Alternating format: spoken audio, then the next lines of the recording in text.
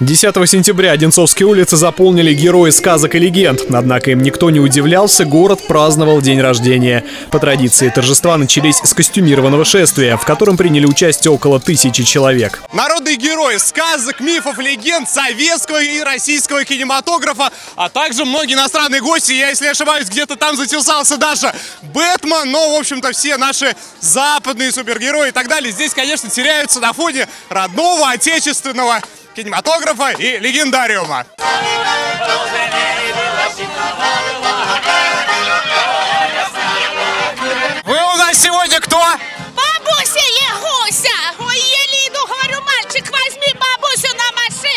Помог мальчик-то? Вон мальчик поехал! Мы окрутники, ты чего, пупсик?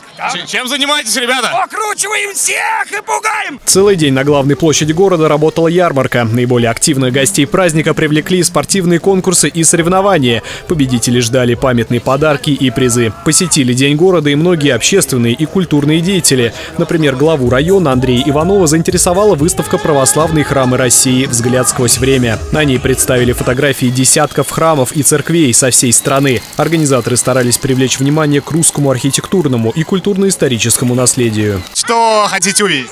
Все. Вот честно. Так красиво. Я отсюда из города уехал лет, наверное, 10 назад. Живу сейчас это в Нюдере. А он приехал сон, говорит, день города хочу посмотреть. Ну, что говорит? И как? Нормально, настроение хорошее, Ну вот, солнце позитивное, специально для этого тепло делают. у вас. И где планируете сегодня побывать, что посмотреть? На разных наверное, соревнованиях. Да. На разных конкурсах. Очень много хотим чего посмотреть. Надеемся, что нам все понравится. С самого раннего утра стартовала детская концертная программа. По доброй традиции ее участниками стали воспитанники местных школ искусств. Всему народу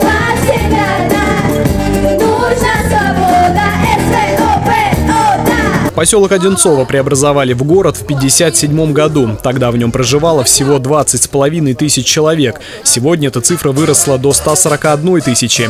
В воскресенье могло показаться, что все эти люди вышли на улицы города отметить день рождения столицы района. Отлично, были на параде костюмеров. Отличные. А с кем приехали сегодня? С, с дочкой, со школой. В три часа на центральной площади начался большой концерт. Он стал частью Всероссийского фестиваля народного творчества «Гармонь собирает друзей». Для любителей танцев проводили профессиональный мастер-класс. Бедро. Ну, не просто раз, а как будто мы пытаемся что-то разбить очень сильно. Там.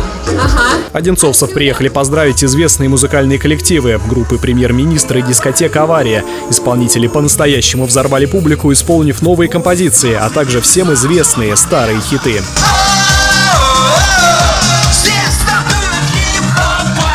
Завершился День города праздничным салютом, который украсил небо разноцветными огнями.